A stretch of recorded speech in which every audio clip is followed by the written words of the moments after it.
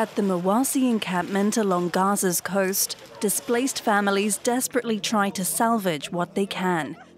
Heavy rain has brought water up to their ankles, soaking through mattresses and any remaining belongings.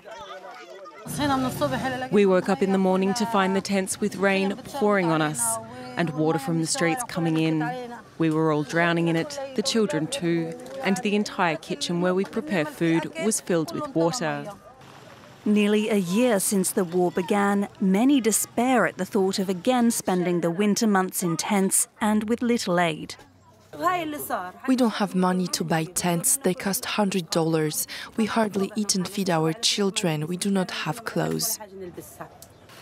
With more rain, the UN's Palestinian Refugee Agency says people, especially children, are likely to fall ill. The weather does nothing to ease already dire sanitary conditions, which have promoted the spread of disease. My daughter is six months old. She got sick. Where can I take her? To the hospital? We used antibiotics once, and then we were told we needed more. Where do we get them from? There is no medicine in this country. There is war, bombardment, destruction, and now cold weather and rain. The Mawasi area is a designated safe zone by the Israeli army, though it has been the target of deadly airstrikes. The UN recently reported there were between 30 and 34,000 residents per square kilometre in the camp. That's compared to just 1,200 before the war.